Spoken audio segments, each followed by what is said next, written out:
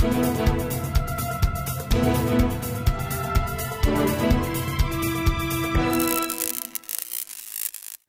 folks, believe it or not, nine out of 10 Christians can't even name God's 10 laws for life and liberty.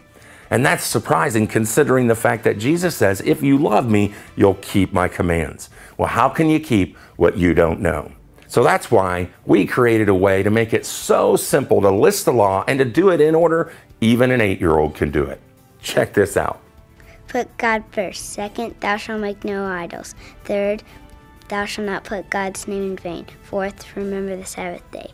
Fifth, honor your father and mother. Sixth, thou shalt not kill. Seventh, thou shalt not commit adultery.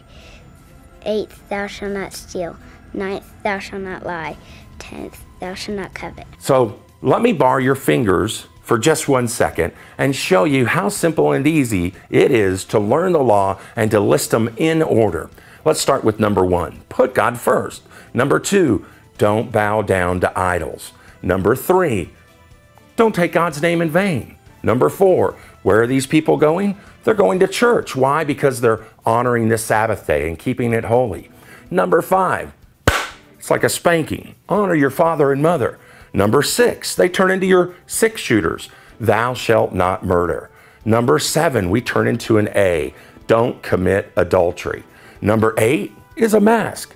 Who wears a mask? Those who steal. So thou shalt not steal. Number nine, with this guy hiding. Why is this guy hiding? Because he's lying. And that's what we do when we lie. We hide from the truth. And last but certainly not least, number 10, turn like this Gimme, gimme, gimme, gimme.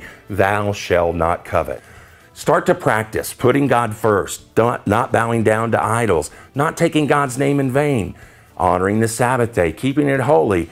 Five, honoring thy father and thy mother. Six, thou shalt not murder. Seven, thou shalt not commit adultery.